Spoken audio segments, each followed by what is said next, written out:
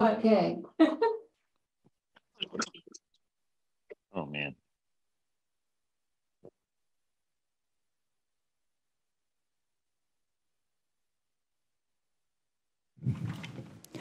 Good afternoon, everyone. This is Abigail Ridge with the California Commission on Disability Access. We'll be getting ready in just a moment. We're going to wait for some more attendees to join the meeting.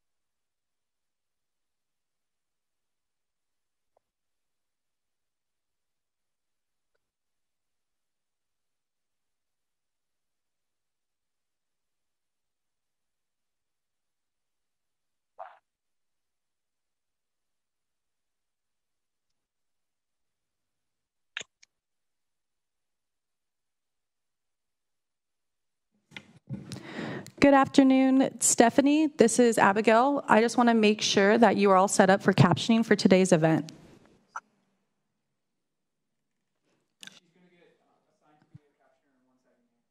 We're going to assign you as captioner right now in a second, so we'll get you all set up. What'd you do, Dennis?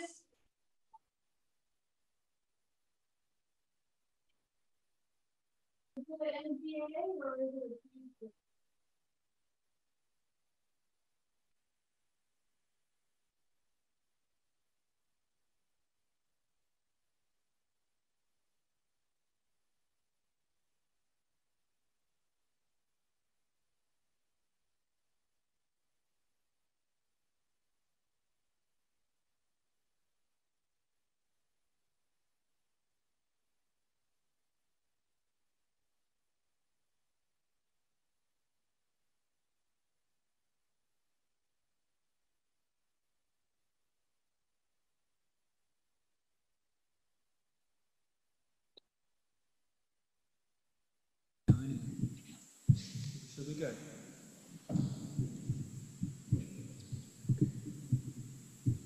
gotta make sure that this building provides equity.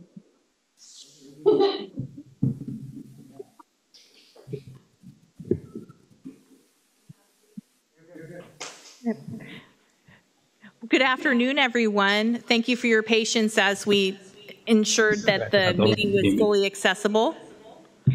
I want to welcome all of you to our forum today, Disability Access for Small Businesses. My name is April Dawson Rawlings, and I am the Executive Director of the California Commission on Disability Access, and I'm also serving as today's moderator.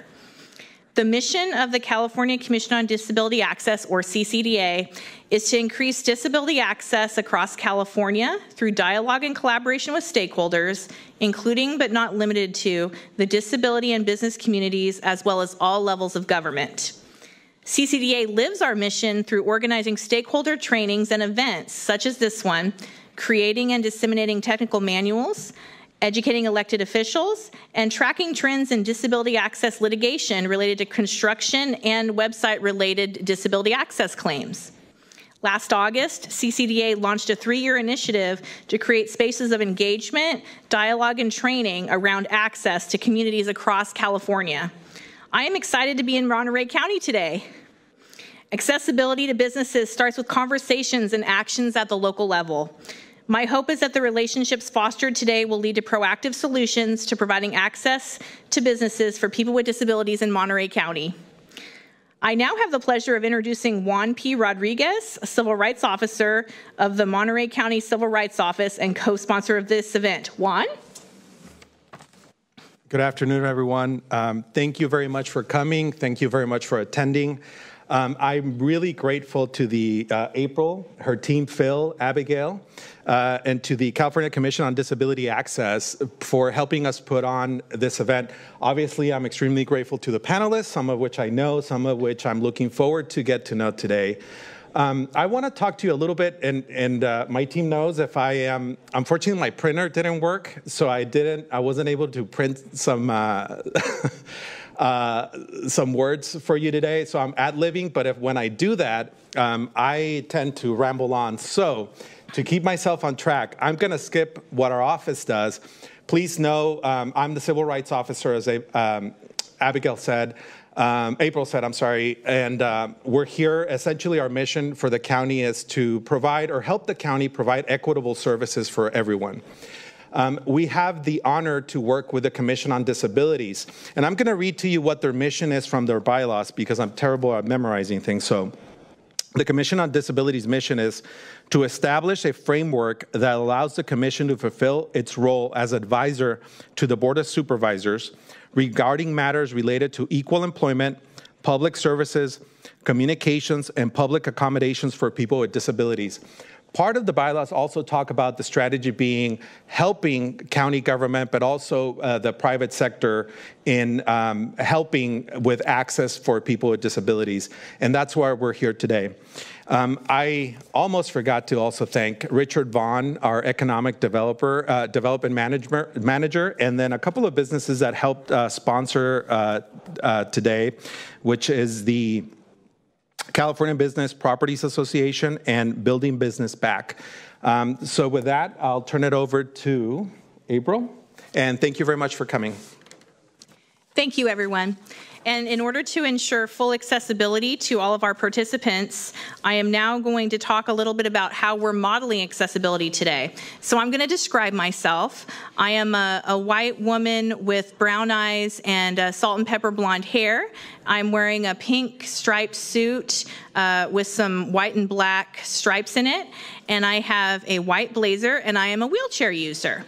And some of the ways that we have physically um, ensured access today is in addition to our captioning and American Sign Language and Spanish interpreting, we also are in a room that is designed to be accessible for people with disabilities. There's cutouts for wheelchairs, and there's instructions on how people with disabilities can get to the dais.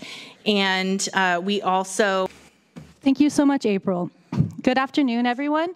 My name is Abigail Ridge, she, her pronouns, and I am the Administrative and Legislative Analyst with the California Commission on Disability Access. I'm a white woman with long, dark, dark blonde, dark blonde hair, and I have blue eyes and glasses. I'm wearing a black turtleneck sweater as well as blue, blue slacks. So right now, I'm going to use this opportunity to give a brief overview of Zoom accessibility features that will be available throughout today's event. First, please, if you are comfortable, please turn on your camera when speaking. Please keep your audio muted when you're not speaking. We will have a designated time on the agenda to respond to questions. At that time, you may ask verbally or utilize the Q&A feature. I will go over this Q&A feature um, in the next slide. Please note that the chat feature is distracting for people with disabilities who use the screen reading software. Please use the raise hand icon when you wish to speak, and we will call on speakers. Speak slowly and wait for others to finish before joining in. And please note that this meeting will be recorded and available for viewing online. The Q&A portion of this event will not be recorded. Now for the Q&A session. For the Q&A session of this event, to ask a question, please select Q&A at the bottom of the screen.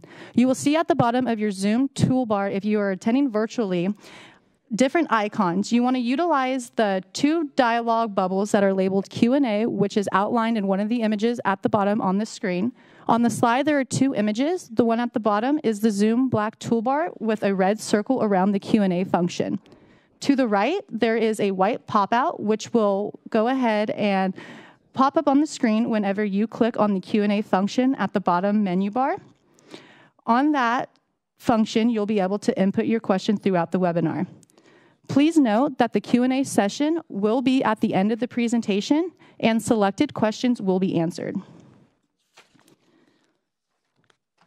For Zoom, there are different viewing options. In the upper right-hand corner, where it's labeled View on the Zoom screen, you can have the option to choose between Speaker, Gallery, or Standard View.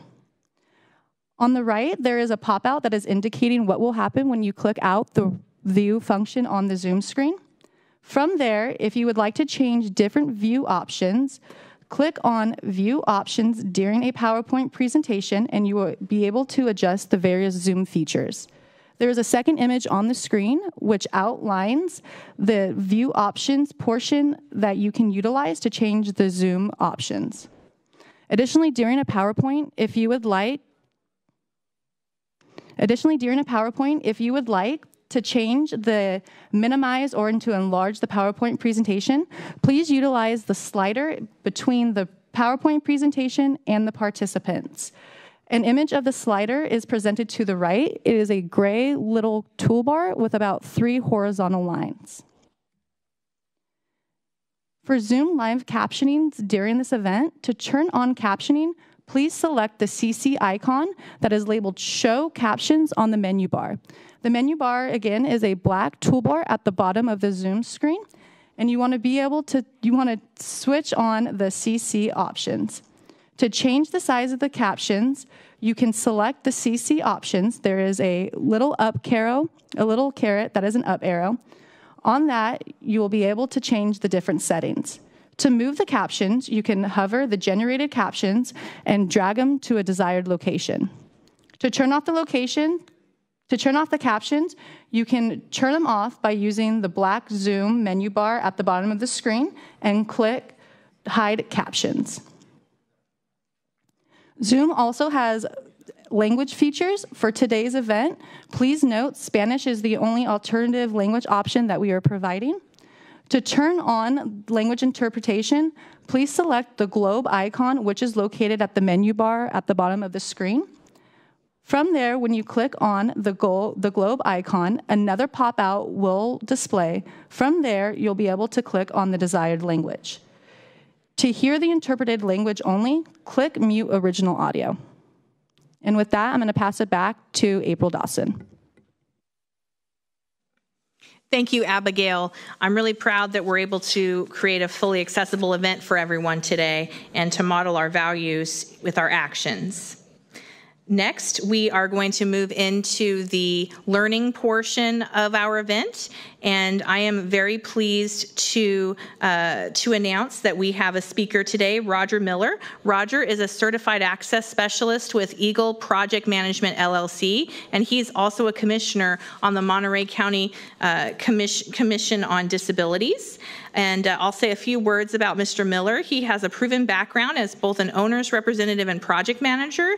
He's uh, created several projects within the allocated budget and he has an extensive knowledge of construction management, private and public projects, and he's worked for several different agencies such as school district, public agencies, hospitals, hotels, commercial production facilities.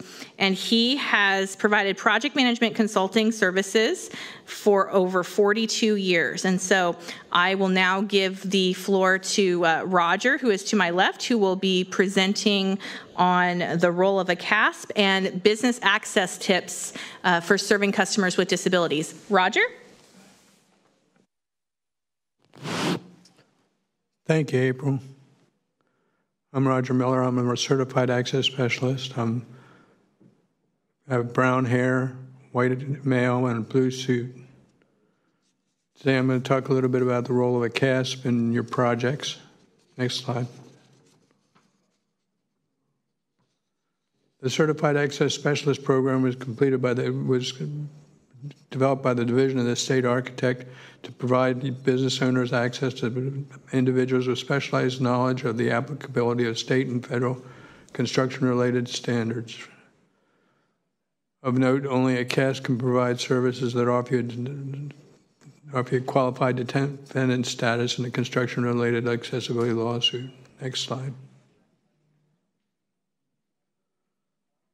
I want to emphasize I'm not an attorney or not, I'm not an architect, but I am a certified access specialist with 50 years of construction experience, 14 years as a CASP. I've done over 200 reports. including services I've provided include design reviews, field assessments, and litigation support. Next slide. This is some of the typical services that a CASP can provide, and you can get these services from pretty much any CASP that provides field services. Some CASPs are strictly business building officials and don't provide the field services, but the field service CASPs provide program development, which is the scoping which defines what regulations apply to your project.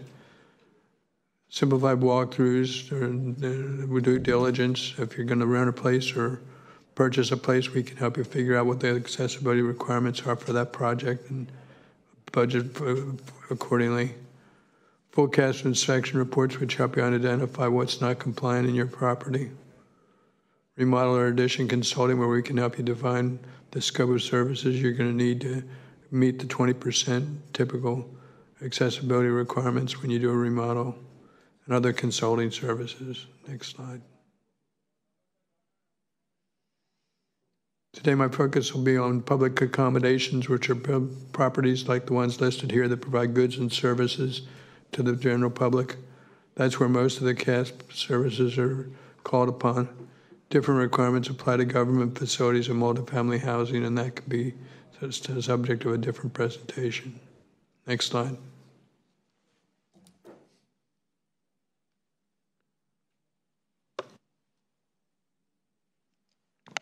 The underlying issue with accessibility is that typically the built environment is not accessible to people with disabilities.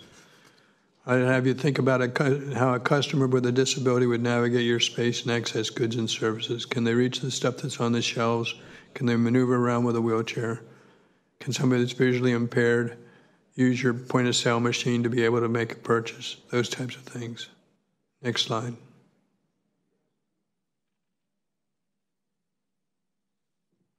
No, you went back. One more. One thing about terminology, the, the terminology handicapped is an old terminology and not very comfortable for people that are disabled. The new terminology is disabled. And the photo here is of a guy that does extreme wheelchair stu- stunts. He does flips and rolls and pretty amazing stuff. He's available on YouTube. You want to see somebody that's disabled but fully functional in the world, check out his uh, YouTube. Next slide. So the underlying issue with accessibility, thinking in terms of equal, equal, they want to make sure that people that are disabled have equal access to everything that people that are not disabled have. George Bush passed the, signed the Americans with Disabilities Act in 1990, and a quote from him said, Let the shameful wall of exclusion finally come tumbling down. This historic act is the world's first comprehensive declaration of equality for people with disabilities, the first. Next slide. Why provide accessibility to your business? First of all, it's good business. There's a $3 trillion market segment out there of people that are disabled.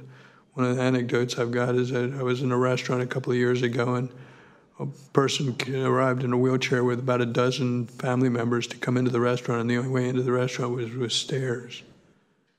So they turned and left, and what do you think they told all their friends? So that dozen people told another dozen people, told another dozen people not to use that restaurant. Um, it's good for disabled individuals. We're all likely to have some sort of disability sometime in our life. You're going to break a leg, sprain an ankle, or have something more severe happen in your life. It helps disabled individuals become productive community members and function in society with dignity. And thirdly, discriminating against individuals with a disability is illegal and it's wrong. Next slide. Like I said, it's illegal to discriminate against disabled individuals. The regulations are complicated, but there is help. Regulations are only enforced by a building permit or a lawsuit. If you don't want to be subject to a lawsuit, we're going to talk about ways you can avoid a lawsuit later on in the presentation. Next slide. So how do I avoid a lawsuit? First of all, make your property fully accessible, but a lot of times that's not readily achievable. So the next, the best thing is to have your property inspected preferably by a certified access specialist, and develop an implementation plan as stipulated in the federal regulations. If you're getting ready to purchase a property or sign a lease to a pre-purchase investigation before you buy or lease a property. I got involved in a lawsuit about a year ago with the restaurant owner and uh, the landlord that got sued because the property was not accessible. And the lawsuit, the, the, the restaurant owner and the property owner spent more money fighting each other over who was going to address the lawsuit and the accessibility requirements than they Dumbasses. Okay, I'm not sure what that was about. If you have a property that is not fully accessible, do what you can to accommodate the needs, special needs of disabled individuals, like offering to get stuff off an upper shelf or other, other things that you can do that make it easier for somebody that's disabled. And not give them a reason to be upset. Next slide.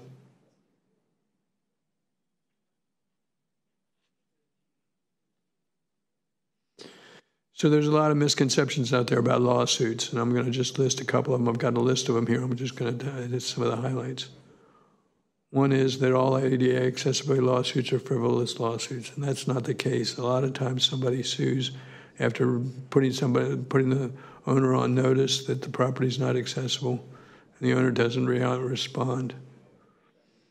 The other misconception is all plaintiffs are vexatious litigants, and that's not true. Most most people that are disabled want to function in the facility, but if you've got a bathroom where somebody can't use the bathroom, and they're in a restaurant and they got to go to the bathroom, the outcome is going to be pretty ugly, and it's embarrassing for them, and that's what leads to a lawsuit. Also, people are under the impression that a pre-litigation notice is required before filing a lawsuit, which is not the case. As I said, only the landlords and tenants need to be clear on, the- in their relationship on who's responsible for accessibility. Next slide.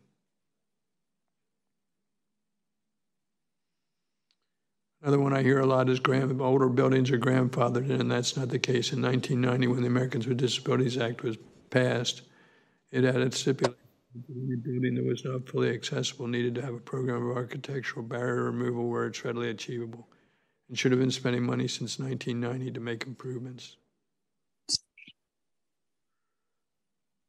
Using a general contractor or the licensed general contractor or building permit building official guarantees accessibility as compliance is 100%, and that's not true either. Contractors are great at taking what's on the drawings and turning it into what's built in the environment. There's, their experience in code and understanding what regulations apply is limited, and you shouldn't rely on that.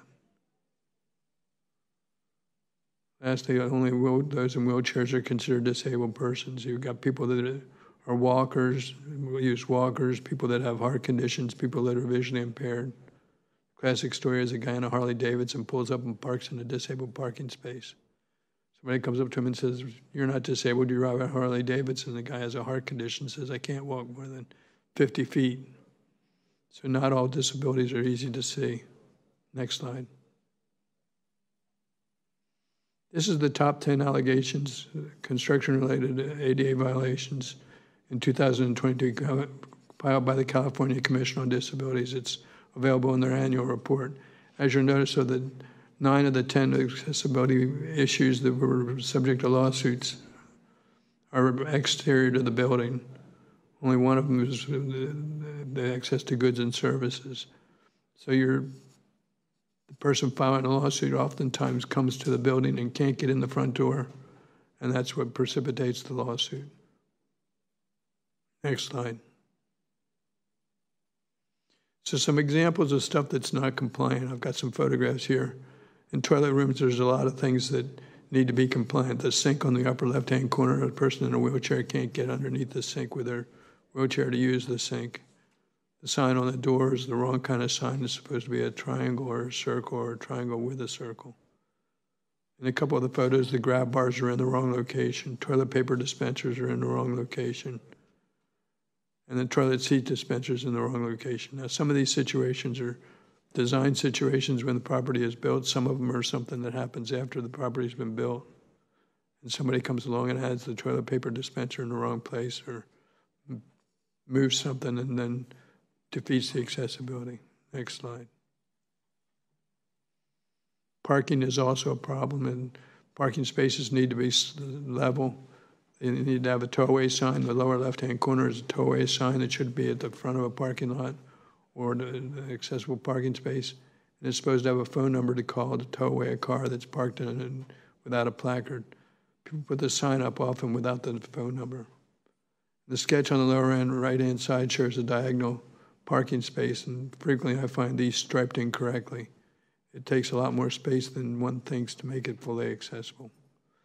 Lastly, you need to have an accessible path to travel from the parking space to the front entrance of the property. Oftentimes, that's not the case. If somebody gets out of their car in a wheelchair and can't make it to the front door. Next slide. Doors are always an issue. Closing force and opening force of a door frequently becomes a problem. The keypads I'm showing here were something I experienced in the lawsuit. The store owner was having trouble with homeless using the bathroom, so he put a numbered keypad on the door so that only patrons could use it. But the number five didn't have the little raised button that somebody was visually impaired needed to be able to determine how to enter the code. And the person went to use the bathroom and couldn't get in and filed a lawsuit. Next slide. Stairs often are not accessible. They, they don't have the proper handrails. They have open risers. The one on the right has open risers, which is not allowed. They don't have lower landings at the top and bottom. And oftentimes, something that's really inexpensive to do is not done, and that's painting a yellow stripe or contrasting color stripe on the nosing of the stairs. So somebody that's visually impaired can see the steps themselves. And that's not just an accessibility issue, that's a trip and fall danger. You don't want somebody tripping down the steps because they couldn't see the nosing on the step. Counters are oftentimes not accessible. Um, a counter in California needs to be at 34 inches, and the federal regulations allow 36. You got to provide the accessibility requirements that provide the most accessibility. The other thing that happens often is you're supposed to have an open 36 inch wide section on the counter where transactions can be encountered. And the counter's designed that way, and then they put a bunch of goods and services or goods available for sale in this open space, and now you don't have the open space anymore. The other thing I mentioned earlier is point of sale devices. Somebody visually impaired needs to be able to enter their key code on a point of sale device. Next slide. This is a summary of some of the disability regulations that have been passed over the last 20 years, 30 years or so. There's always something coming up each year trying to clarify the disability regulations. But the bottom line is, whenever people try to pass a regular, pass a new Senate bill or, or law that, that eliminates the lawsuits, the complaint comes back that you've had since 1990 to make properties accessible, and we haven't done that. So the lawsuit seems to be the only way to enforce it. Next slide. A little bit of history. The federal regulations started in 1968 with the Architectural Barriers Act, followed with the Rehabilitation Act. In 1986, they came out with an ANSI standard that started regulations for accessibility. 1988, HUD passed regulations for accessibility in multifamily housing. In 1990 was the Americans with Disabilities Act. Next slide. These are some of the standards that apply, and they overlap with one another. It's one of the things that a CAS can help you do is identify which of the regulations apply to your property and identify the part of the regulations that provides the most accessibility. It can be pretty confusing if you don't um, understand all the regulations. When I passed my exam, the reading material for the accessibility regulations we had to study it was over 3,000 pages long. Next slide. In California, the Unruh Act includes minimum damages for violations of ADA, and that's what really precipitates the litigation that you may be familiar with. 1968 building code corresponding with ANSI 117.1 was when accessibility regulations first started to appear in the building code in California. We've had a number of Senate bills, 1608, which compared, which created the Certified Access Specialist Program, Senate Bills 269 and 1186 provided some grace periods for claims if you have a CASP inspection ahead of time. One of the recent bills, Assembly Bill 3002, encouraged building officials to, or asked building officials to encourage CASP inspections when a building permit is pulled or when a business license is pulled. I would encourage you, if you have an occasion to pull a building permit or a business license, to really consider having a CASP inspection as part of that process. Next slide.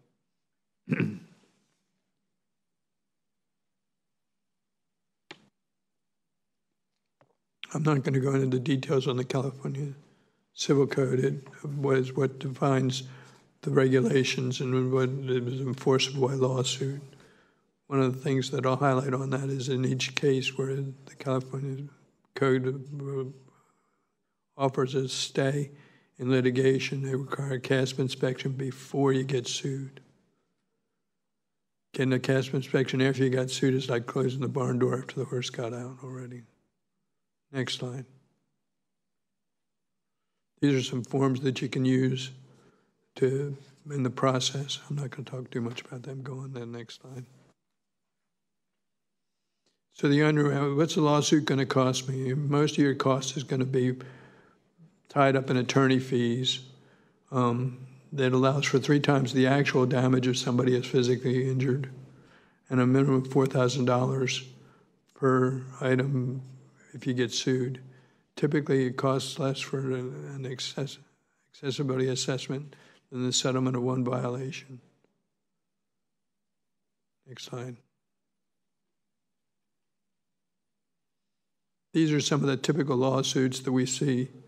I've been involved in a lot of various lawsuits, usually after the fact. One interesting one was a hotel that was built in the early 2000s, got sued, and they had over 300 items in their lawsuit.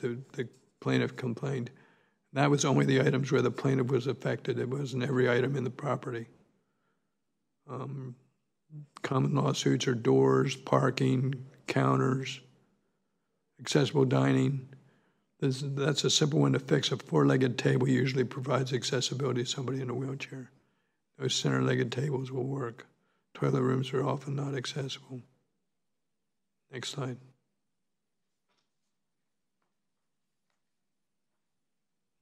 Next slide.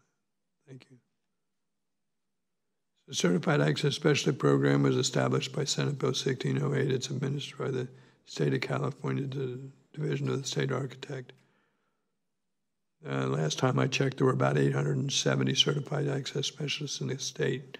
371 of them listed the inspections as their scope of services.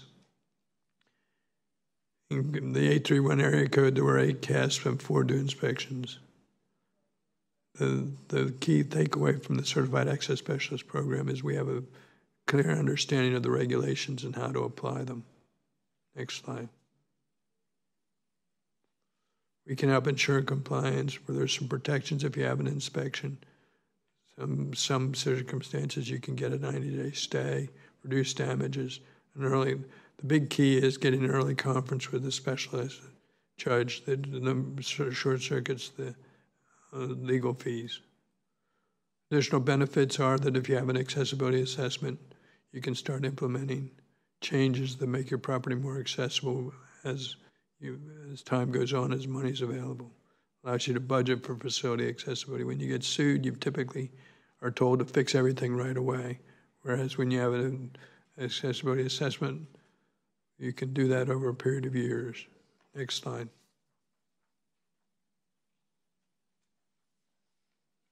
So these are some of the ways a CASP consultant can help. We can educate owners, do pre-purchase assessments, make sure design is fully compliant. Um, a lot of times I'll review an architect's design and his details aren't complete enough to ensure accessibility is complied with when the contractor builds it out. We can do surveys of existing facilities, um, surveys of facilities that have been completed. We can help as expert witness in litigation. If you, get, if you get notified of a lawsuit, I encourage you to get an attorney and have the attorney hire a CASP. That way, the CASP work is protected. Next. So how do I make my facility accessible? First thing I would suggest is hire a CAS to inspect the facility. Seems expensive sometimes, but till you hire an amateur. This is not a do-it-yourself project. Typically costs less than, for an assessment than one violation. You can find a CASP on the DSA website. That's the link to the website. Get an inspection, get a written report with details. Next. Develop an implementation plan and follow the implementation plan. Sadly, I do a, a lot of reports and the, the owner never puts together an implementation plan or follows it. Next slide. There is some financial assistance available. There's some tax credits and tax deductions, and there's a CalCAS, CalCAP program where you can get funding for accessibility if you're a small business. Next slide. So what does a report look like? This is one of the pages out of one of my reports. It lists all the elements that we looked at, the doors, the path of travel, the bathrooms, the conference rooms, in this case, the washers and dryers. The ones in pink have something that's not compliant and is expanded on further in the report. On the right-hand side is the page you turn to the report to see what the details of what's not correct about that particular element. Next slide. This is the reference to the item that was not compliant. You'll notice that on the upper right, it's a little hard to read, but there's a keynote that shows where the item that we're dealing with is.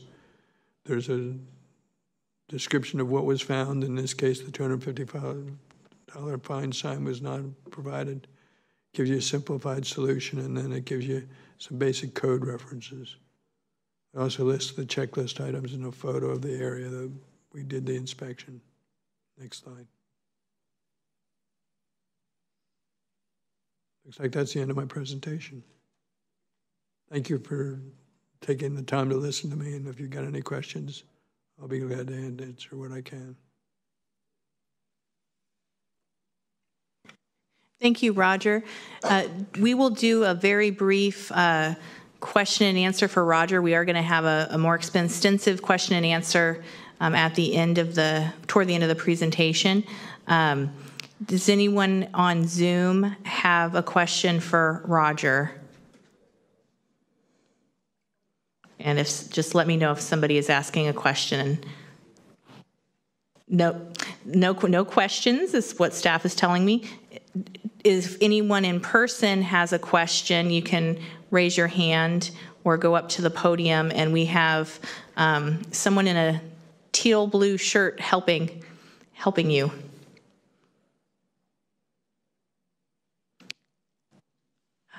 Juan has a question. So thank you, April. So say, Roger, I, I own a restaurant and I have some money to remodel it, but I want to make sure I'm complying. Um, what would you, obviously I would go to a general contractor or somebody I know, right, to help me build it. What, what would you advise I do in terms of uh, CASP in that situation? Well, a couple of things. First of all, I wouldn't just go to a contractor. I'd go to an architect or design professional and I would have a CASP review the drawings for what you're doing and also have a CASP inspect the existing facility to help you identify things that you have to do for the 20%. Um, in California, if you, if you do a remodel that's below the valuation threshold, which is about $200,000, you only have to spend 20% of the cost of the remodel on accessibility improvements. If you're over the, that threshold, you could have to spend more. So Typically, you can have me come and do a, an assessment of the property, identify what's not compliant, and use that as your list of things that you're going to do for the 20%.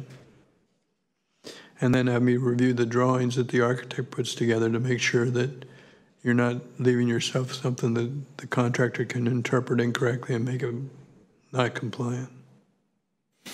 Okay, that and, and I heard when you were presenting that if I have a plan, I can those improvements I can do over uh, several years, right? And, uh, as long as I have a plan for it. I also, or maybe I'm incorrect on that, but um, you're correct. I'm correct, right? And then I also saw that there's financial assistance, like uh, tax credits, uh, deductions, and 88 state financing program. If I have a, if I hire a CASP and they have a plan for me to become compliant within a couple of years, do you know if I can use these incentives over the years, or is it just one-time use? You'd have to talk to a tax professional. Yes. I suspect that was going to be the answer, but all right. And but I- The the CalCap program is a, is a loan program. okay. But at No least, Interest loans for small businesses, I believe. But at least there's something, right, to support businesses to, to do the transition. Yes, and in some cities, in the city of San Jose, they got a program that actually reimburses you for your accessibility improvements. Wow. Be something good for the county to consider, something to consider here. Okay. Thank you. Thank you, Roger. This is April. Thank you for that informative presentation. And we have a question. Uh, Monica is going to come up to the dais and ask her question. Uh, my name is um, Monica. I'm Latina and, and South Asian, dark skin, dark hair, wearing a cream colored blazer with stripes. My question to Roger is this. I think fear of compliance, I'm, I'm with the Monterey Peninsula Chamber of Commerce thinking about businesses.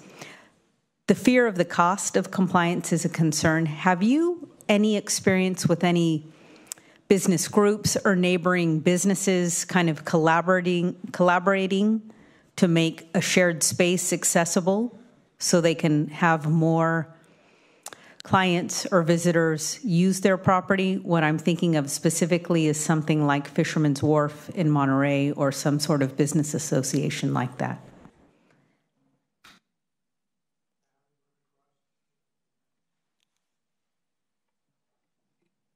I don't have an experience with that. Typically the common areas of a building are the responsibility of the landlord, and then all the tenants have the responsibility for internal. So for the wharf that you're talking about, the common area, I believe, is owned by the city.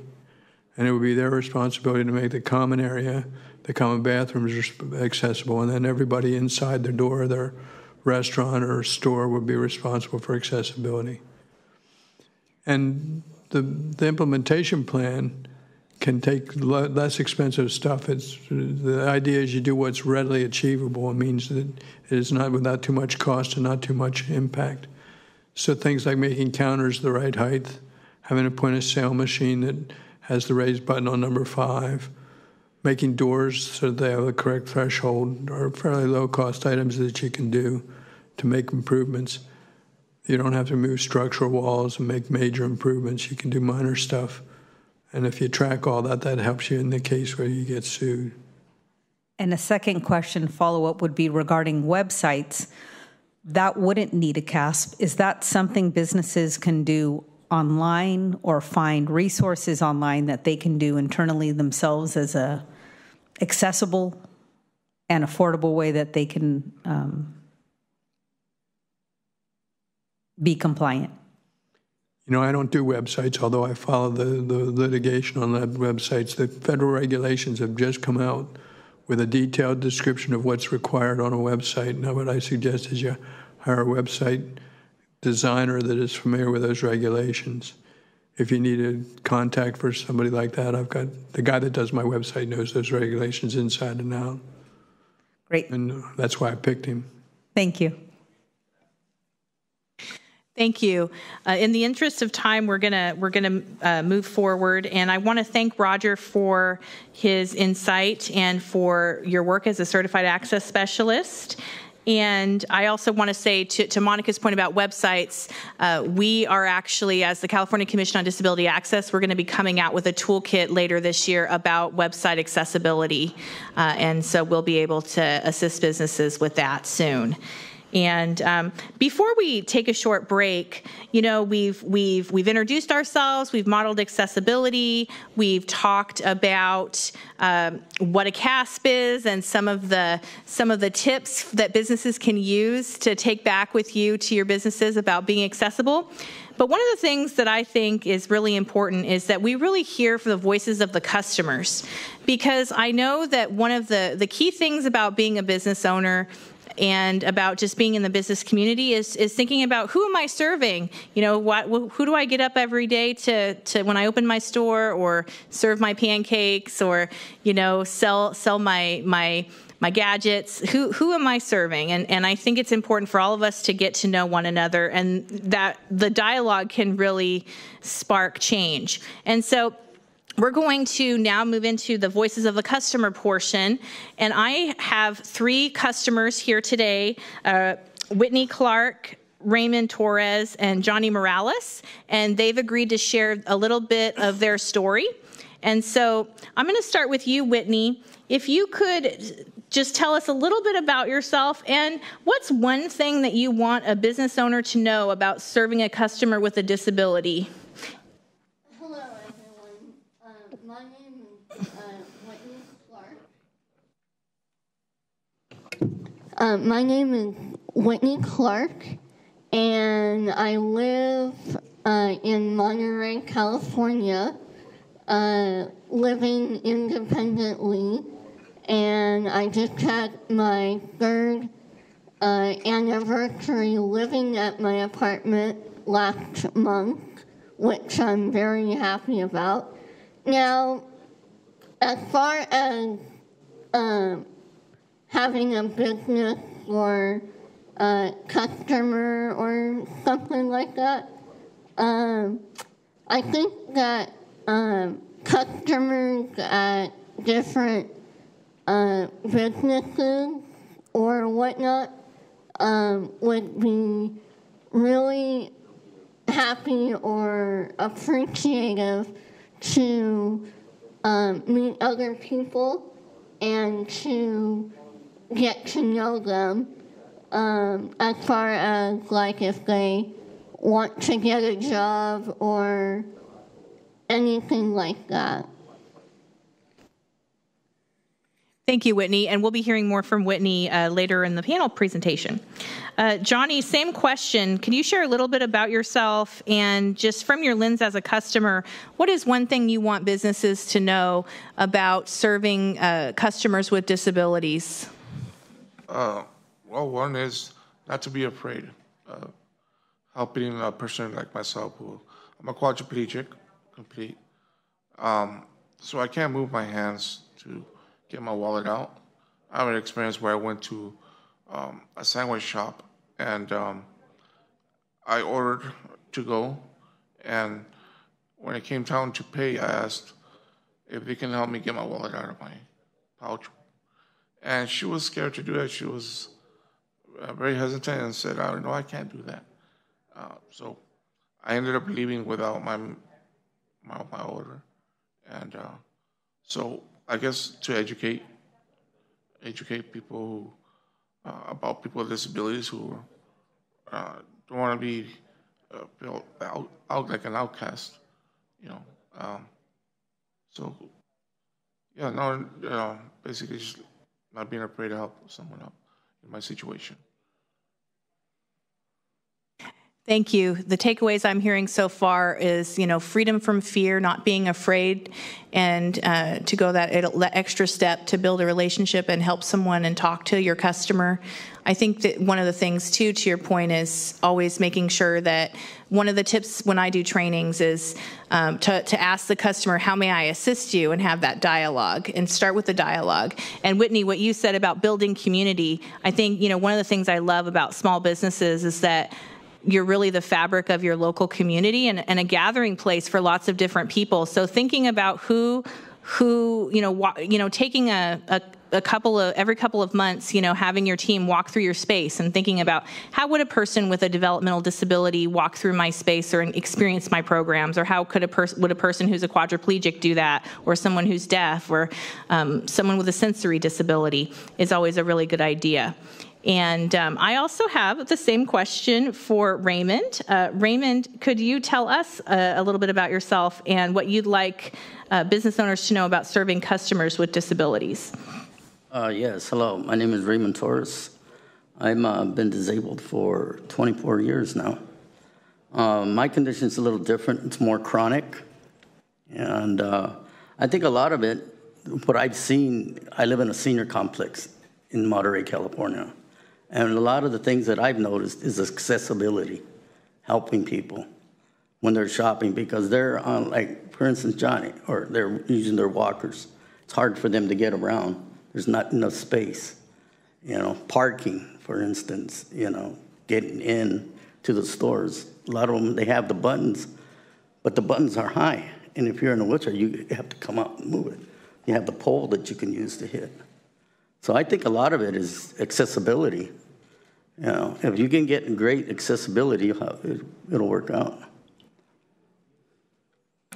Thank you, Raymond. I, I, I really appreciate what you said about uh, about making sure that your your physical space is accessible to people with disabilities. Thinking about how someone would navigate the space, and that really goes back to you know there's a there's a term in access world of uh, maintaining accessible features, and I know that as a person who uses a wheelchair myself, uh, sometimes like when I when I go you know let's say I'm at a restaurant or something or a gift shop and I need to use the bathroom, uh, sometimes uh, you know there's there's uh, walkways that aren't accessible, or there's like that's where sometimes I see storage of uh, excess items that it's hard to find to put somewhere else, so they put it in the access aisle. And um, and sometimes you know a bathroom might have a really beautiful planter in it, but it means that I can't turn to to use the toilet. And so just maintaining accessible features. So what I really heard from the voices of the customer today is the role that businesses can play in building community for everyone.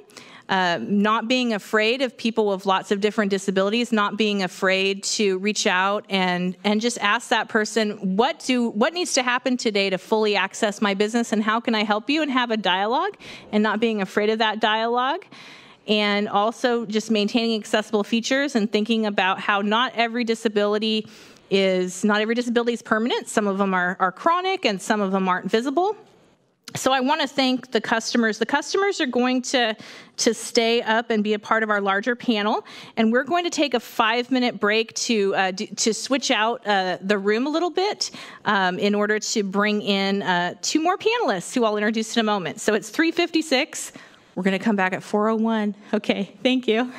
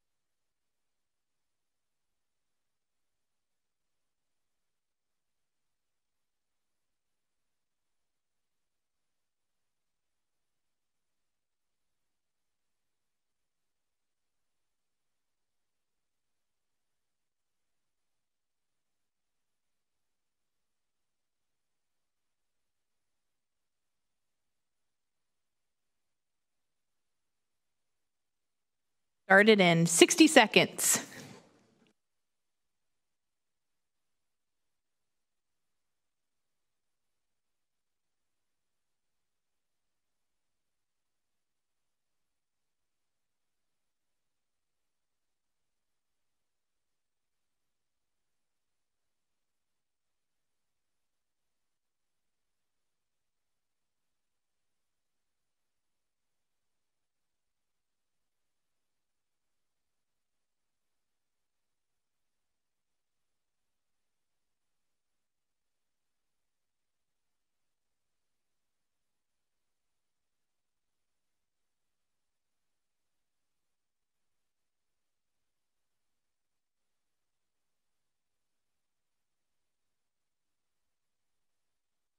April.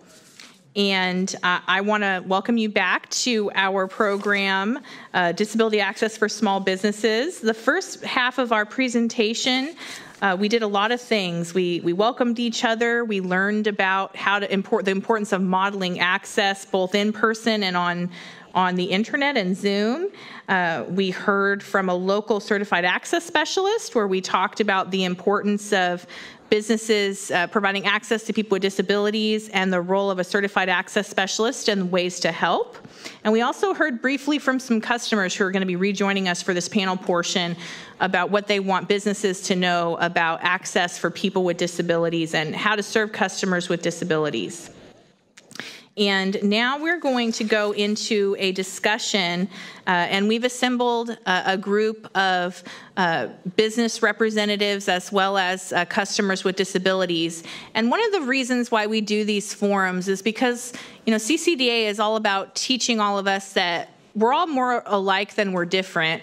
And as I mentioned earlier, accessibility and questions about accessibility to businesses really sparks at the local level. So if we could all get to know each other at events like these, you know, maybe maybe the next time somebody goes into a business and they find an access issue, they'll be like, "Oh, hey, I think I saw you at that meeting. How about we have a cup of coffee and I could tell you what happened and uh, talk through this." And then businesses can also learn about how to uh, be proactive rather than reactive when it comes to access. So we all get to know each other and realize, hey, maybe we're a little bit more alike than we thought.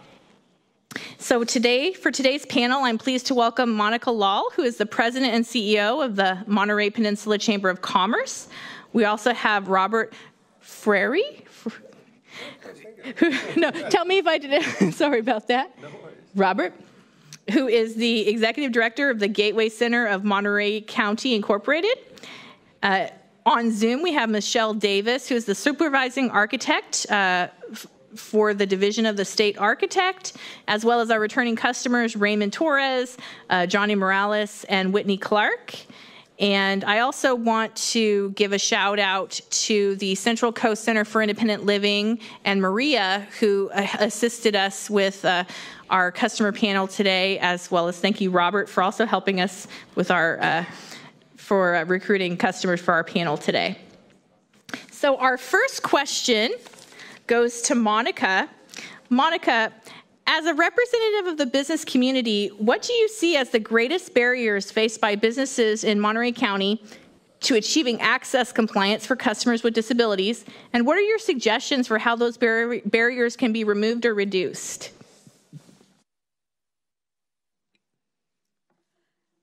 Thank you for the opportunity to be here. Um, I think for some of the business commu- community, there's a, a, legitimate lack of awareness and uh, a lack of awareness in related to the CASP that Roger so clearly outlined, just some of the actions that they can take to make it more accessible. Um, I think in terms of an obstacle, uh, cost of compliance is a concern, whether it's real or um, a fear of a cost uh, and, and what even doing research on it um, might create for them. Uh, and then a little bit, truthfully, in some of our businesses is attitude. I think sometimes not uh, overtly really recognizing that um, access is very important to a business and perhaps seeing the, the disabled as a small segment of the population when really it's not and it has it can have a significant impact um, and that uh, perhaps the costly demands that they, they perceive that there would wouldn't be necessarily a financial return when in fact the return is in, in our mind and how we would like to educate manyfold uh, of having properties accessible. So I'm not sure if that answered the question. No, thank you, Monica. I think it, it really speaks to the fact that um, customers are such a customers with disabilities, you know, represent, you know, millions of dollars in, in revenue for our businesses nationwide. And um, that even though it can seem like, I, you know, even though there's a cost associated with uh, business access, there are resources out there. And I do want to take the opportunity to point out that all of the resources that we're going to be talking about today, as well as some other resources we'll be highlighting toward the end of the presentation, will be made available to all the attendees, uh, as well as this recording. Uh, so what we want to make sure we help businesses, uh, you know, manage the cost of, of accessibility and, and integrate it into how they do how they do business. So I appreciate appreciate you being here today. And uh, I'd like to start with Whitney. As a customer with a disability, can you tell tell me what what do you think are some of the most common barriers faced by people with disabilities in accessing businesses, and how do you think that businesses could solve those problems? Well, I think that uh, businesses, uh, like I had tried to say uh, earlier was that um, if like um, I'm just using an example, but say there's um, a business um, that's not doing so well as far as um, money or anything like that in that scenario um, then there would be people uh, out there that would uh, help other people if they need need it or any uh, support on how to do things better or anything like that. Thank you, Whitney. Uh, Raymond, can you share, as a customer with a disability, what you believe are the most common barriers uh, faced by people with disabilities in accessing businesses and any recommendations that you have to offer to address those issues? Mm, well, I already mentioned the accessibility, but I think when they, if like they come into a town or a city when they're going to get their license, if there's any programs that they can mention with the city, and the city can advise them. Look at if you need to do any any accommodations, there's these programs that can help you. That way they can get a jump start on it already. I think that that would be a you know something that could help out.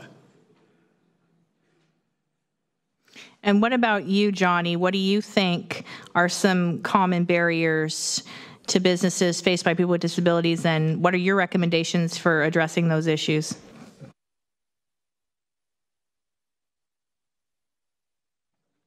You know, a lot. So, uh, one of the issues we have is she's in a wheelchair as well. So, having to be able to open that, she opens the door, and I get in. Uh, just having a, every if every uh, restaurant could have a button where they could just open it, it would be great. Where my mom doesn't have to struggle opening the door for me, so we can both go in and enjoy a meal. Uh, another thing is that um, being as tall as I am, uh, I my legs do not go under tables, and so that's one of the things that uh, uh, is a struggle. I usually go on the side of the table and and so a space uh, mainly I mean, it's a space to to to sit and enjoy the meal um, and uh, customer service just uh, having somebody to help you know those those issues Thank you. I'm going to ask our uh, Division of the State Architect representative, Michelle Davis, Could you share with our uh, attendees today, Michelle, what resources are available from the state to assist businesses to, to achieve access compliance?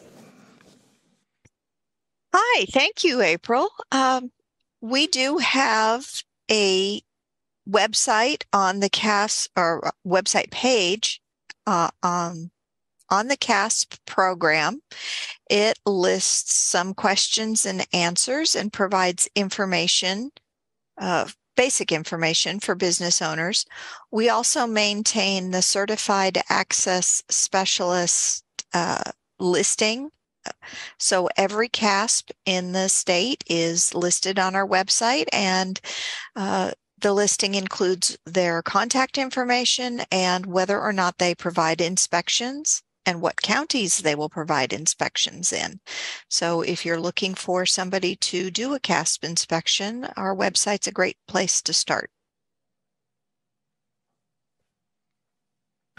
Thank you. And we also have some information um, later in this PowerPoint, uh, in the PowerPoint slides, which we'll also be providing to attendees about tax credits and some other things. You can also go to CCDA's website, uh, www.dgs.ca.gov slash ccda and uh, we have had to think about that for a minute. And we uh, have lots of uh, lots of one pagers as well as toolkits. And um, I also want to give a plug that uh, the Commission just approved a toolkit for the construction industry on accessible parking, as well as for business owners and operators and facility owners on accessible parking. And uh, we will be uh, posting that to our website shortly, as well as in future uh, programming uh, using that as a basis for some of our trainings. So if you're in those industries and want to learn more about accessible parking, uh, go to our website and uh, or contact us. Uh, Robert, I want to bring you in, and I know you you have a unique position as a as a as a representative of an agency that serves people with disabilities. So I'd like to hear from you a little bit about you know what do you think are some of the common misconceptions uh, that are held by members of the business community about the access needs of the people you serve, and how do those misconceptions affect members of the community that you're serving? Thank you, April. Thank you for the opportunity to come speak at your um, forum, which is really important. Um, so let me tell you a little bit about me and Gateway Center, and I'll answer your question as part of that. But my name is Robert Ferrari. I'm the executive director with Gateway Center of Monterey County, who for 60 years has been serving the disabled community um, with quality programming, housing, um, and advocacy. So we um, are a residential program, we have day programs, and we have this really unique program that we have in partnership with Pacific Grove Adult School called Without Walls. And that's the program that, that one of the programs that Whitney's in, as well as we do do some supportive living program, which is another program that, um, that Whitney is in. And our goal and our mission is always to provide services so that um, the people in our care um, can live their best lives, have opportunities, access, um, and independence. And to get to your question, I think the the misconceptions um, more than what the misconceptions are. I think that um, what we can do is uh, is really sort of break down some barriers, and that's what we try to do in in our programs. Whether it's the program that Whitney's in, which is for our younger adults, or for our programs for our older adults, we all they all go out in the community. They all participate in restaurants and parks and go to the beach and, and go to sporting events. I'm very excited. Um, the last two years, we've been able to go to the uh, Monterey Bay soccer um, facility, and it, it's easy peasy. It, uh, they got ramps there. They know we're coming. The bathrooms are nearby. Um, where we park our um, handicap accessible van is nearby. So they make it really easy. They're very thoughtful when they when they re- renovated that space. And so we're hoping that more people in the community are being that thoughtful when they're renovating their spaces um, so that folks like ours um, can participate. So to me, it's, it's a lot about um, first education, and then from education goes to interface, right? It's really an interface that matters. Um, being comfortable then leads to advocacy, then to me leads to open doors. Yes, here's to open doors. Thank you, Robert. Uh, Monica, As a representative of the business community, what are some misconceptions that you believe might be held by people with disabilities about the access efforts of business owners, and how do those misconceptions affect businesses um, in the in the county of Monterey? Well, I think some of the misconceptions might be that there's um, an active lack of willingness to make the, the areas more accessible. Um, and I and I I don't think that's the case. And the one the businesses I spoke to, just a few, so it's a small consensus. But I think I think more businesses would want to be compliant if they felt it was within their reach financially to be able to do it. Um, I don't think there are always active biases against um, having disabled persons use their um, services. And again, but some of it, though, is just a lack of awareness and education. And, and to the point of, of being comfortable. Um, Robert said it so well about just um, being educated to allow that interface. Um, and so I think more opportunities where their business engagement are, um, it's hap- happening in educational seminars where it's not uh, us against them, but these type of scenarios. And again, a, a, great example of Monterey Bay FC, which partners with so many of our members that this is a great example. Let's elevate it. Let's let's have our community know there are some great ones that exist. Maybe shine a light on them. You know, so other businesses say, "Hey, we can do that too." Thank you. I think this is, this definitely speaks to just the power of community getting together to have these conversa- con- conversations, and I, I agree with you. Elevating elevating these types of conversations, and this also speaks to the fact that this uh, this forum is definitely not just going to be a one off. I know some, uh, many times I, we've all gone to meetings where everybody talks about you know accessibility or or other um, important issues, and everybody feels good and gets to know each other, and then maybe it's a couple more years before we reconvene, but but CCDA is committed to making these investments locally in these communities, and uh, we do plan to work with Monica and Robert and uh, organizations like Cecil, uh, the Central Coast Center for Independent Living, as well as local businesses to really highlight these issues and to get the resources where they're needed the most. Um, so I'm really excited. So this last question is is for the whole panel. And um, I'll start uh, over here this time, here with, with Johnny. Um, with, and the, the question for everyone is what suggestions do you have for improving understanding and dialogue between business owners and people with disabilities? That's a good question. Uh, you say that again? Ask me that question again. Yeah, absolutely. So, do you have suggestions for how to improve dialogue between business, the business community, and people with disabilities? How we could all talk to each other better and work together better? Oh, I guess you said uh, just having open discussions and um, getting together more. Uh, uh, just uh, going on in the community, community, and uh, um, passing on, passing along information.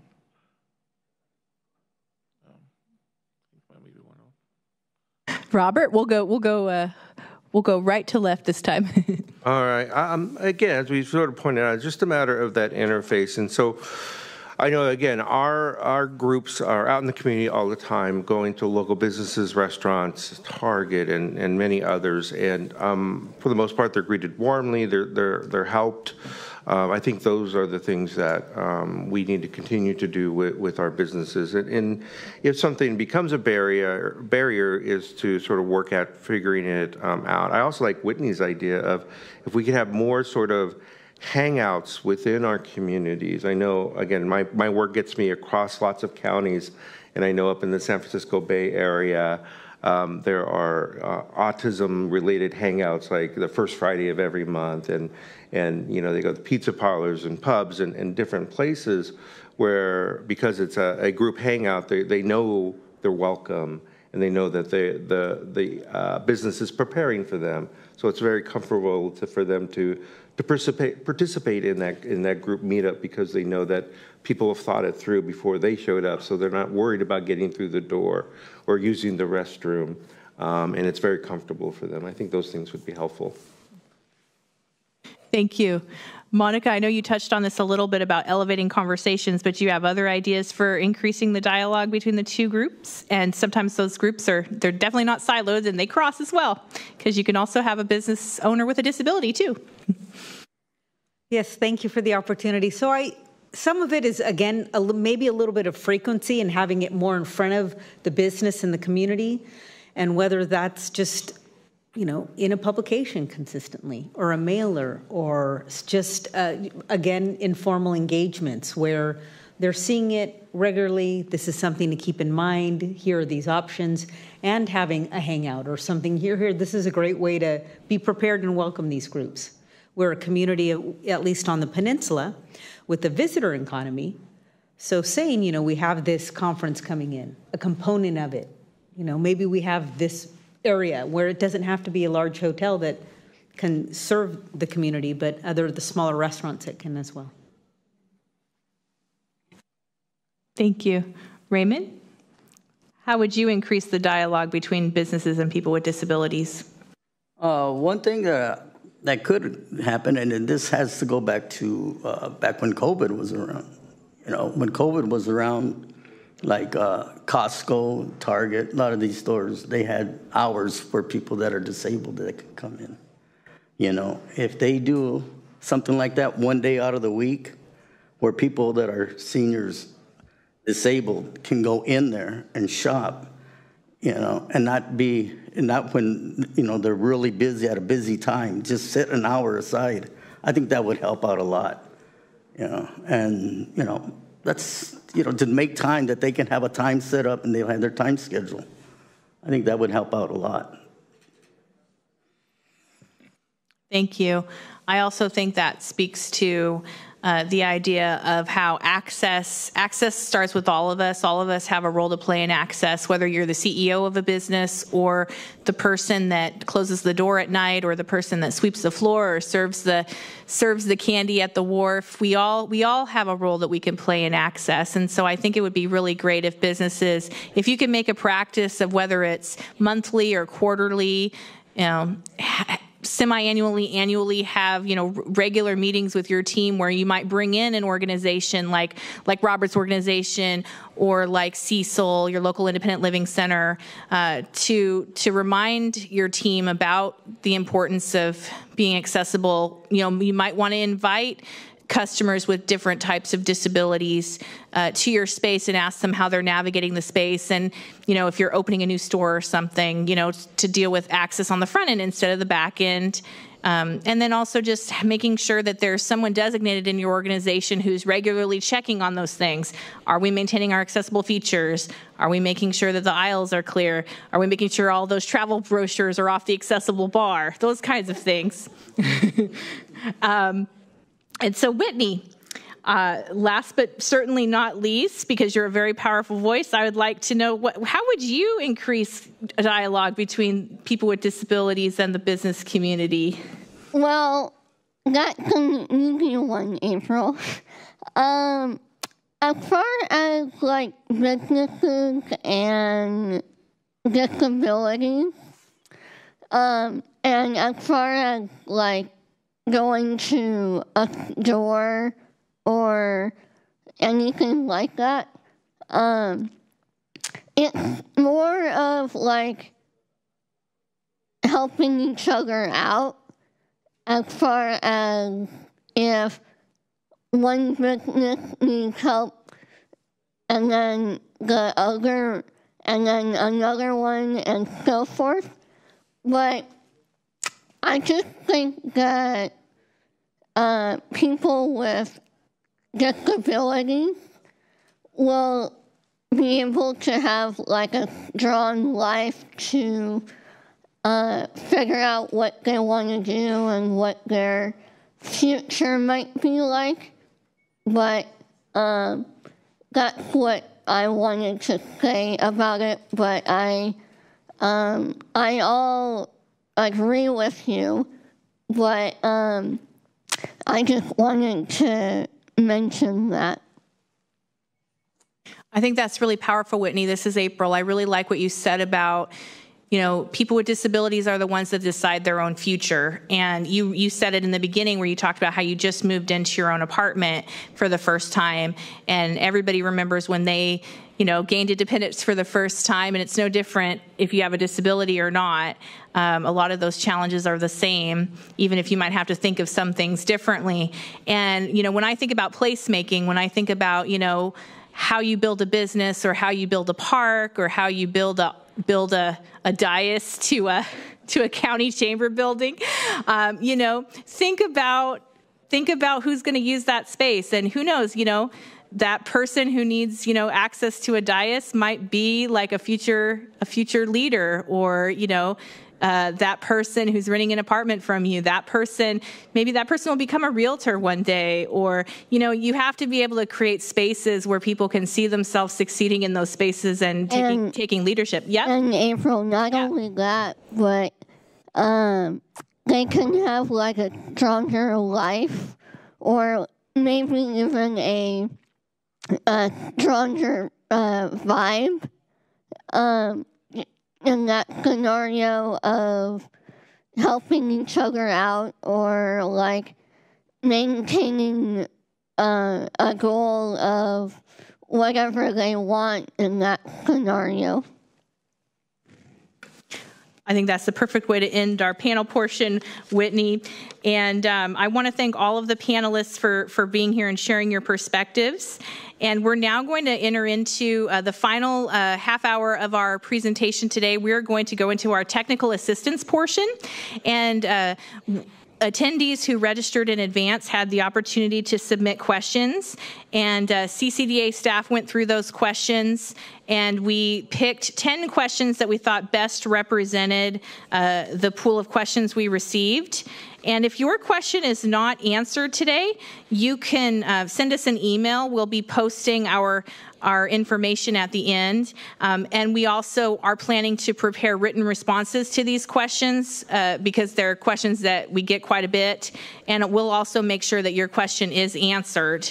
Um, and uh, Michelle Davis, who I introduced earlier, who is a supervising architect with the Division of the State Architect, uh, she received those questions in advance and uh, she's ready for me to ask them here and uh, we'll be answering them and these are all confidential questions so michelle the first question is um, what is proper etiquette for assisting and communicating with customers who are hard of hearing blind or visually impaired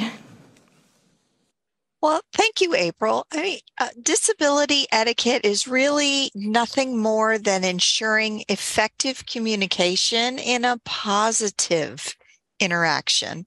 Um, not all individuals with a similar disability are going to communicate the same way.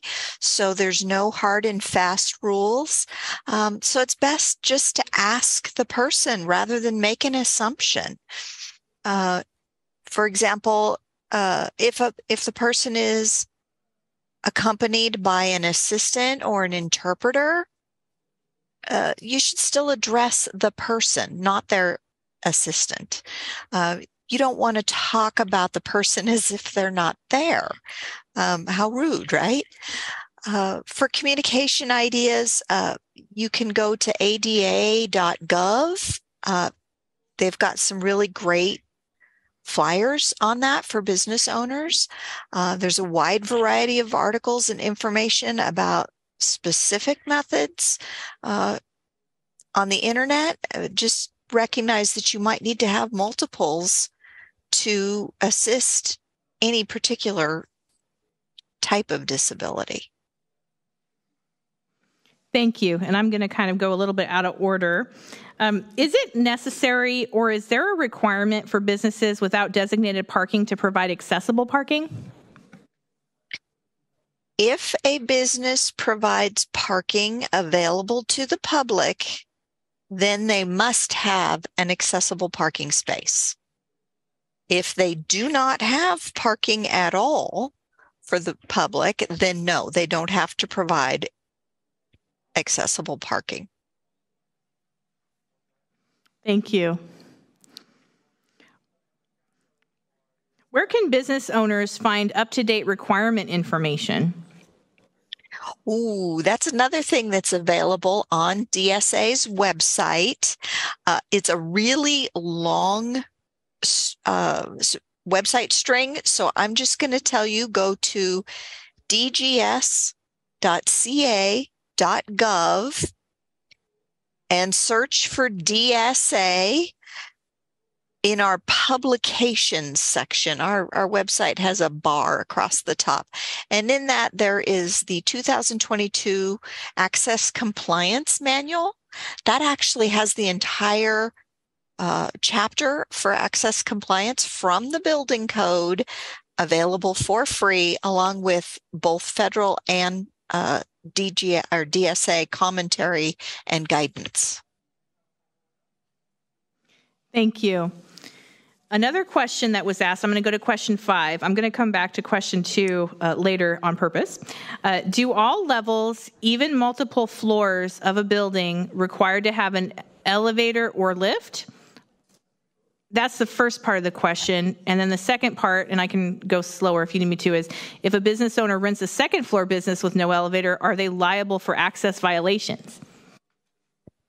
That's a complicated question. So, under the California Building Code, the trigger for installing any accessibility upgrades is when a project is undertaken. So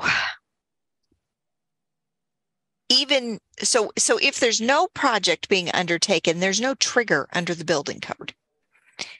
Um, and some buildings are permitted to never have an elevator installed and that would be buildings that are three stories tall or less, or have 3,000 square feet or less per story. Um, so, no, you don't always have to have an elevator. Some types of businesses do always have to have an elevator, and that includes shopping centers and malls, uh, transportation terminals or depots, and most importantly, offices of healthcare providers. So the small businesses that are dentists, uh, maybe mental health care professionals, smaller uh, smaller doctors' offices, those need to be either on a ground floor level or be in an elevator building. They don't have that exception. Uh, for liability, I, am not an attorney, so I'm talking generalizations here. Um, generally, if a business is located on the second floor of a building that doesn't have an elevator and perhaps is not required to have an elevator, then they still need to look at alternate ways to make their business accessible. And the code jargon for this is alternate method of compliance. Uh, so, say, for example, a tax preparer is on the second floor of a building that does not have an elevator. Um, and the tax preparer needs clients to drop off papers and information. Uh, they could arrange with the building to have a drop off box, a secure box on the first floor. Or they could arrange to have staff go down and meet customers and just take the paperwork from them. Now, say that same business also needs to hold meetings to review information with their clients, um, and they meet the with the able-bodied customers in their own conference room, but they meet disabled customers in a coffee shop. That would not be the same because the coffee shop does not offer the same level of privacy uh, especially you know for financial matters that would be important uh, as their private conference rooms. So the business would need to look at a way to provide a private and accessible meeting location. Thank you. Our next question is Are bathrooms that are not open to the public, do they have to be available or do non public restrooms need to be available? I am so glad somebody answered this question because the answer uh, actually changed recently. Um, some business obviously are required to provide bathrooms, such as restaurants. The health and safety code does require them to offer bathrooms to customers. Other businesses that maybe are not required to have customer bathrooms um, may now be subject to AB 1632. So, Assembly Bill 1632 is legislation that was enacted in 2022, and it amended the Health and Safety Code, uh, Section 118700, and requires businesses to allow people with eligible medical conditions uh, such as Crohn's disease, irritable bowel syndrome, people with ostomy devices. They are now required to let these customers use the employee bathrooms. Now, there are certain conditions that do apply, so businesses should review those conditions and determine how to implement this requirement where it's applicable. So the short answer is yes, you may be required to make your bathroom available to certain customers. Thank you, Michelle. Our next question that we received is Could you please elaborate and explain the California Building Code or CBC update that includes privacy compartments for multi user all gender toilet facilities?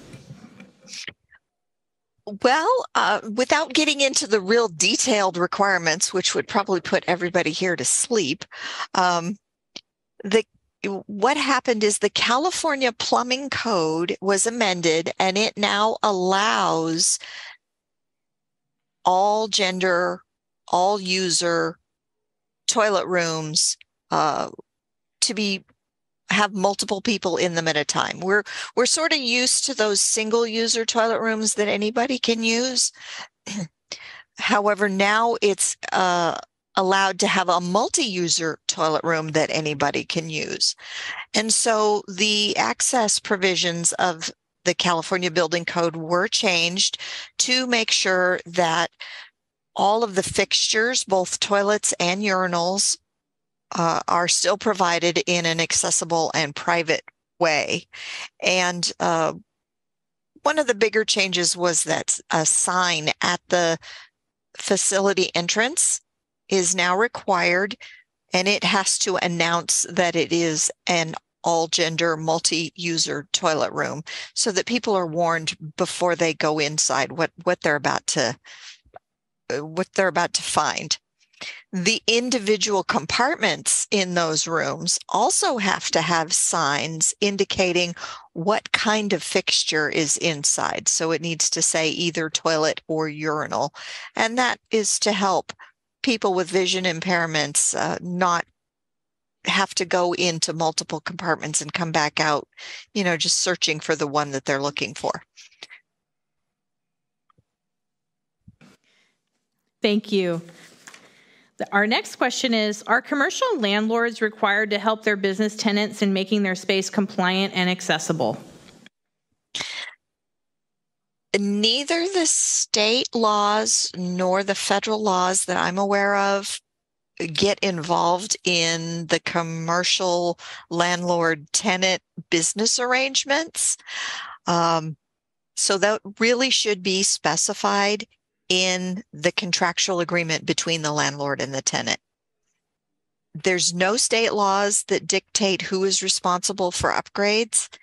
And the federal guidance that I've seen from both the Department of Justice and the U.S. Access Board state that both parties may be responsible depending on the nature of the barrier.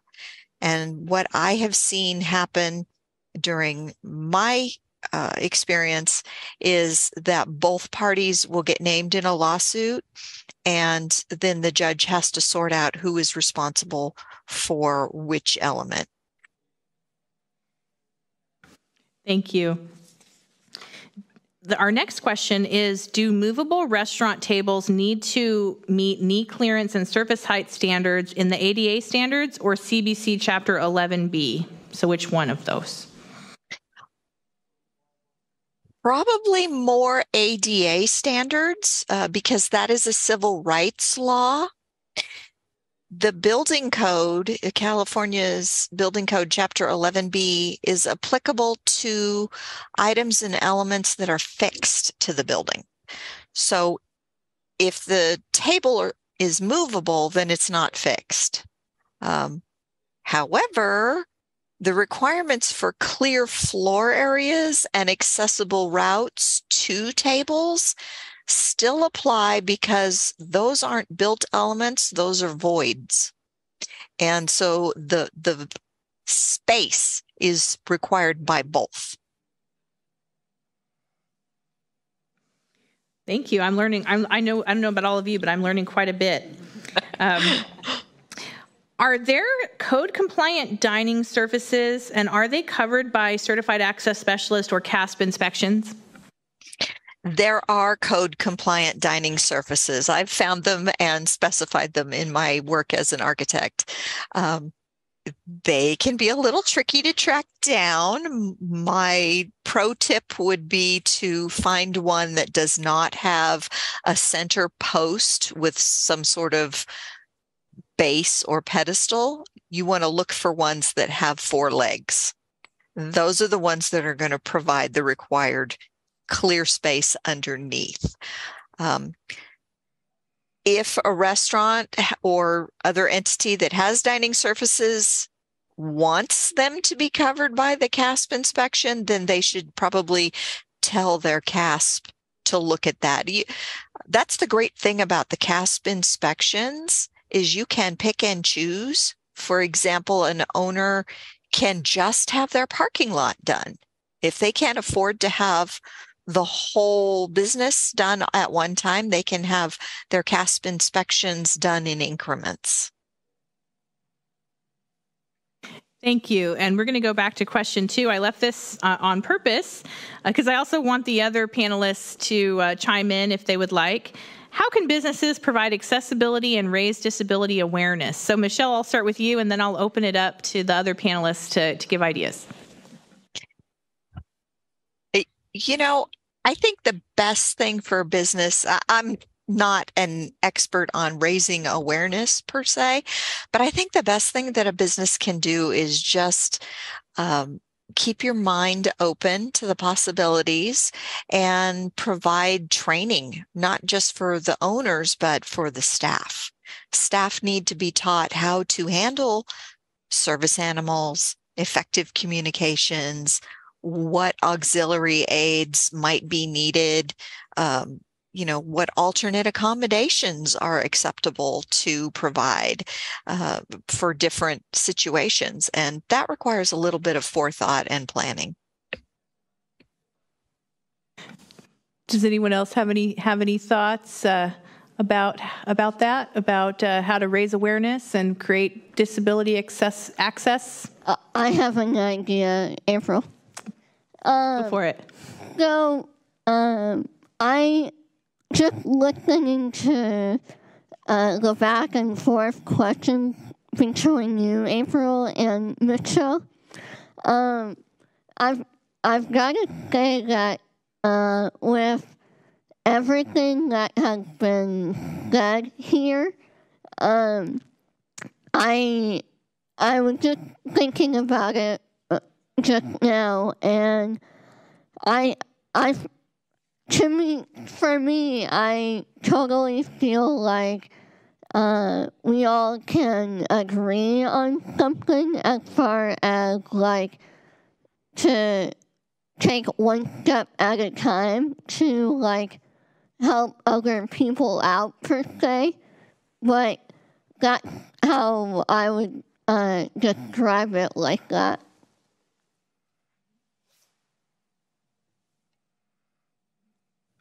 Go ahead, Robert. Okay, thank you. Um, a couple of thoughts. One of them is that itself, you know, to be really thoughtful and to approach things with an open mind. The folks that we work with, folks like Whitney, are some of the most brightest, optimistic. They're very, we have a lot of artists in our community. They're very much technology savvy, and they're the most loyal friends that I've come across. Right, so they're they're the best of the best of the people that are in my community. And so when I see businesses, as I mentioned, the, the, soccer team, but also Embassy Suites, about a month and a half ago, we had to relocate our residents because of the power outage. And they greeted us with open arms. They're like, what do you need? We, well, we need rooms, right? And we need to be fed, right? Everything else is like, you know, we need access to the elevator. We have a bunch of equipment. We're bringing in medical equipment, oxygen machines. You guys have a problem? Like, no, no. What do you need from us so that we can make your people comfortable? You know, it's that mindset that just makes things great. And on the other hand, two things have happened um, that that I'm I'm hoping that folks will will sort of turn the curve on. Is one, whenever I see um, an accessible animal, right? You know, there's two things. Either one, we all want to go up and pet it, and that's not always okay. But the other thing I see, some people like rolling their eyes, like, is that a real service animal, right? Or they just want their pet in. It's not up for us to, to decide that, right? It's not, that's not our our, our space. That's for them, right? And then the other thing, unfortunately, that, that happened recently was um, working with somebody, and um, we had a we have an intern who um, is deaf, so she brings her interpreters with her to different various places. And unfortunately, one of the spaces that we went into, they're like, "Well, do they all have to be here?" And I'm like, "Yes, they do. We have somebody, and that's her accommodation." And so it's those kinds of things that I think it's, we continue to have these forums, as continue to have um, our communities um, sort of um, come together. I think those two situations will, will hopefully happen less and less. Other thoughts from panelists about about it? About how to increase access and awareness? Well, I have something to say, and it has to do with what Robert just mentioned right now about pets, therapy pets, and service animals. So I have my dog. I live in Monterey. I live in the heart of downtown Monterey. Anybody goes to Monterey, it's beautiful, you know, no matter where you go. But the businesses there are so pet friendly. And I think a lot of businesses and a lot of people can take, you know, can take notes from them because we walk around and there's bowls outside their doors with water and they're giving their the pets, you know, snacks, water, and everything. I walk around and everybody's like, "Hi, Lucky," and I'm just standing there. You know, they all know my dog. After, how you doing, Raymond? You know, but uh, if more businesses were to become pet friendly, I think a lot of more people that are disabled and everything would be able to get out more. Well, thank you. Thank you. Johnny, did you have uh, thoughts about increasing at how to increase access and awareness? Uh, maybe just uh, marketing it. Marketing. Yeah. Mm-hmm. Um, uh, I don't know. That's. I mean, I think you guys said it all already. Um, it's passing on information. Uh, yep. Awareness, marketing to your to your customers. Thank you. Well, did you have anything you'd like to add or, or any best practices or anything? Okay. Well, I, I want to thank all of our panelists. Uh, I've certainly learned a lot. I'd like to thank everybody for submitting questions. Um, in the interest of time, um, we're not going to be able to take um, any any questions because we want to talk about some resources that are coming up. And so, uh, before I give my closing remarks, um, again, thank you to the panelists and to the customers and to everyone for being here today. I'd like to share a couple of resources that you could also find on the CCDA website. Uh, on the screen, uh, there's some business resources. There's a primer for small businesses from the ADA National Network and ADA.gov. There's some conversations happening uh, about effective communication and service animals and ADA frequently asked questions. So there you go. There's your answers about service animals. Uh, you can also learn about ADA quick tips, some tax incentives, and also there's the link on our website to Certified Access Specialist or CASP inspections. And you can find all of these on our website. And we are, will also be sending all of the, the Roger's PowerPoint as well as all the questions and answers and to the technical questions asked, as well as all of the resources we gave today will be provided to all of the registered attendees. And we'll also be posting our recording, uh, the recording of this to the CCDA uh, website and social media. And as you know, uh, we also have been live streamed uh, locally, so we're really excited about that. So let's talk about how to go, where to go from here. I just want to take the time to thank our, our sponsors, uh, Building Business Back and the Monterey County Business Council for the refreshments earlier today. I'd also like to thank our co-sponsor, the Monterey County Civil Rights Office and their staff, Natalie, Juan, Alex, Alex for the wonderful tech wizardry and his team, um, as well as Nadia from the Civil Rights Office here in Monterey County. And I just want to say that um, today is just the beginning uh, that we're going to be conducting follow-up programming in Monterey County. We're going to be uh, pr- producing some more webinars with, with targeted communities. And we're also going to be reaching out to, to Monica and, and your team and other business leaders uh, and disability community leaders such as Cecil to talk about how we can continue this dialogue and really build on the conversations that were sparked today. Um, because as I keep mentioning, uh, access really starts with the local level and it starts with every single one of us. And so, whether you're a person with a disability or a business owner or a government official or a service animal, like everybody has a role to play in equal access uh, for people with disabilities. And uh, the more people we can bring into our businesses to invest in our local economy, the, the stronger our community becomes, the more we can spark relationships over coffee or over talking about sea anemones and uh, at the aquarium, for example, uh, the stronger our community becomes. And I also want to thank the California Business Properties Association for being a strategic partner in, in, these, uh, in these forums. I'd like to thank Roger Miller uh, for being our technical expert today, and to uh, Michelle Davis for answering all of our technical questions as well. I'd also like to thank the Monterey Commission on Disabilities and also, I want to highlight my wonderful staff, uh, Abby and Phil over here in the front box, uh, Abigail Ridge and Phil McFall, and all of our uh, CCDA commissioners. Uh, CCDA was created uh, by the California State Legislature in 2009. There's 17 commissioners uh, from a cross section of community life, such as developers, engineers, architects, other planning people and people with disabilities as well as representatives from the state legislature from both parties, the state architect, and the attorney general. And we all come together. I, I urge you to, uh, I would love to have all of you uh, engage in our quarterly meetings. Our next meeting is going to be held in Orange County on June 26th. We'll also be pairing that with another listening forum there as well. Uh, I also would encourage you to attend our webinars and technical trainings. Uh, we're actually having a uh, conversation co facilitated by the Pacific ADA Center on May 30th. We have a webinar series that we do quarterly with them, uh, and one of the topics is service animals as well as Title III of the ADA. Uh, we'll also be doing later this year a webinar about how businesses can plan for access during the holiday seasons and the busy seasons. And we're also going to be talking about, uh, in co- in, to coincide with the ADA 34th anniversary, we're going to be talking about uh, how far we've come in the last 34 years, some trends uh, that we've seen in disability access laws and how the court's interpreting them and what that means for your business. And as I mentioned earlier, uh, please look for our toolkit on website accessibility that will be coming out later this year as well. So, again, I just want to thank everyone for being here today and for your partnership and collaboration. And I look forward to many more opportunities to engage and make change in our community. Thank you. And I have a wonderful afternoon.